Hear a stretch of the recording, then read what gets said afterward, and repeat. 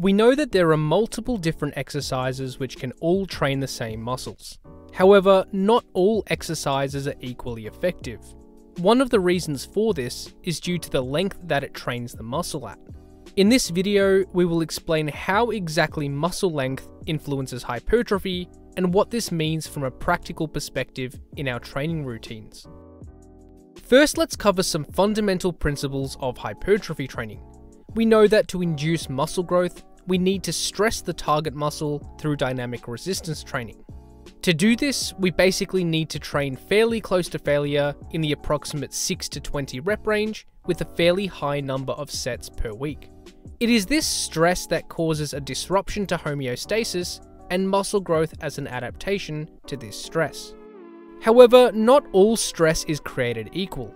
While there are many different training methods within these general guidelines, which can all be similarly effective at inducing muscle growth, we may be able to induce more of a stimulus with each set by strategically manipulating certain variables. And one way this can be done is by training at certain muscle lengths. To understand how muscle length influences hypertrophy, we first need to look at the basic anatomy of a muscle.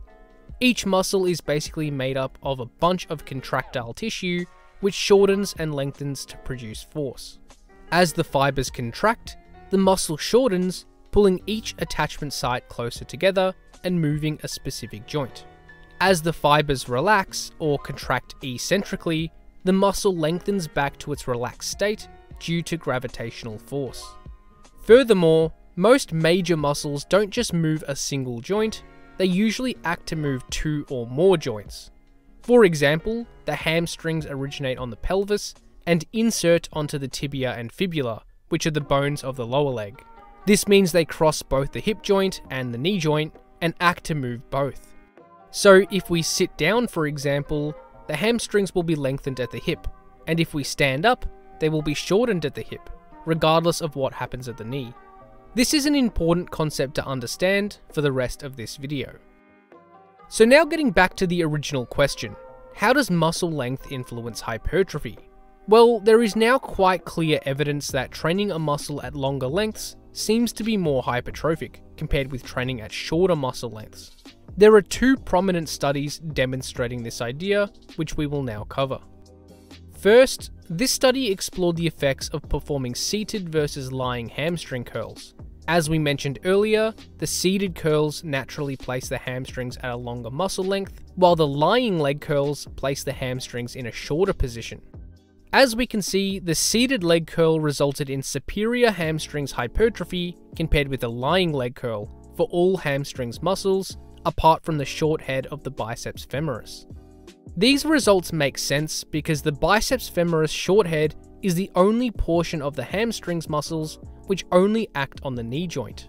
So the hip position didn't influence this part of the hamstrings, which means that the stimulus was basically the same with both the seated and lying leg curls. And the other study we have explored the effects of partial range of motion training for the biceps at either a long or short muscle length.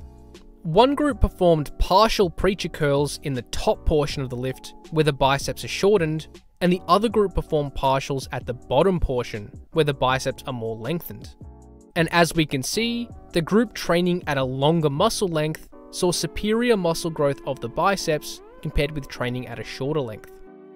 So taking these two studies together, it suggests that training a muscle at long lengths seems to be superior to training at short lengths.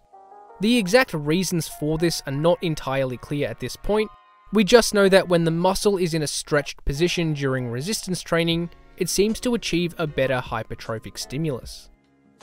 This is all well and good in theory, but what does this actually mean for trainees in the gym? Well, this has two practical implications that we can apply to our own training to maximize muscle growth.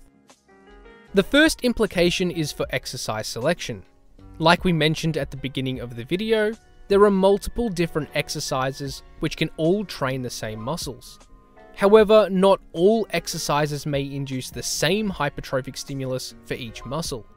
One way that we can make better exercise decisions is by considering muscle length.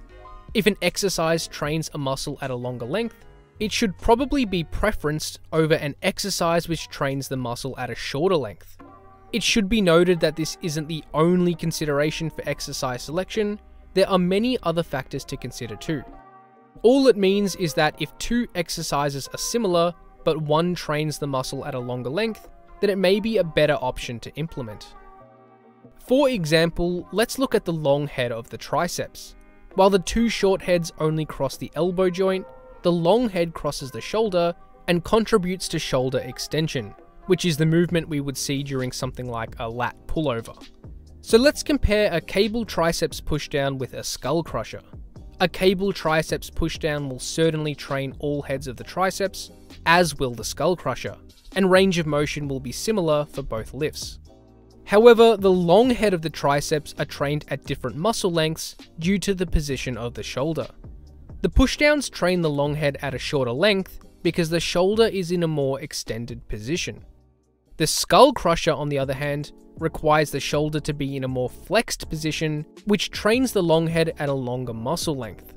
So while hypertrophy of the two short heads will probably be similar with both exercises, the long head will likely see greater muscle growth with the skull crusher in this instance. And the second practical implication that this concept has is for lifting technique, more specifically for range of motion. This research provides more reason to train through a full range of motion with whatever exercises you are performing. This is because training through a full range of motion will ensure the muscle is being stressed at a longer length, which will likely result in greater muscle growth. A classic example of this is for squats and their variations. Squatting with full depth will stretch the quads and glutes to a larger extent compared with partial range of motion. This will train these muscles at a longer length under load, probably resulting in greater muscle growth compared with partial range training. It should be noted that there are potentially other mechanisms also contributing to full range of motion training being superior, but the muscle length discussion is just one mechanism explaining this. Thanks for watching and hopefully you got something out of this video. Check out flowhighperformance.com for online coaching, training templates, ebooks and more.